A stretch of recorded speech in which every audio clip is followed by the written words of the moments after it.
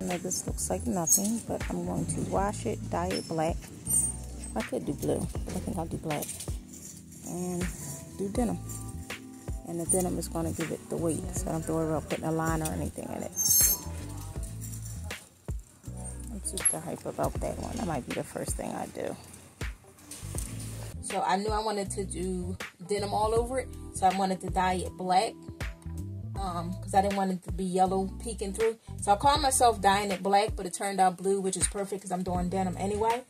So when I initially got the bag, it didn't have a lining in it. I put the lining in there. So this way, if any of the denim has like little spaces in between, it's still blue underneath. Like you can't see through the bag. You don't have to worry about anything falling out. So I'm about to cut up the denim now so then I can shag it out. Be ready. Next time it's going to look like denim.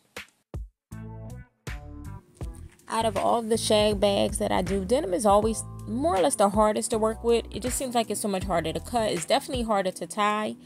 Um, for some reason, it seems like it takes more time to cut the denim than it does the yarn, which I can understand why, because the yarn I just flip, flip, flip, flip, flip, and cut it. But the denim, as you can see, is a lot of different components to cutting that up. So that's why my denim bags or jackets tend to cost more than my yarn shag bags or jackets. But I still love doing it. I like taking nothing and making it into something. Having a vision and seeing the finished product is the best thing of all.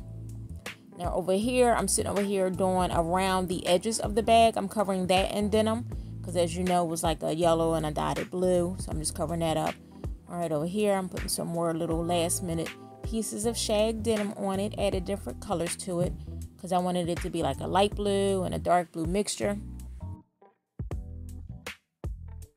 I love this thing. I love any type of onesies, cozies, anything that's comfortable. Perfect lounge wear. So right now I'm adding the denim to the strap. So this way the whole thing will be covered in denim. It turned out really, really, really nice. Like, and not to mention how big this bag is. This is one of those shopper totes that people to the market. You can see how big this bag is. I'm so glad I wasn't the only person that liked the bag. It's sold at the event.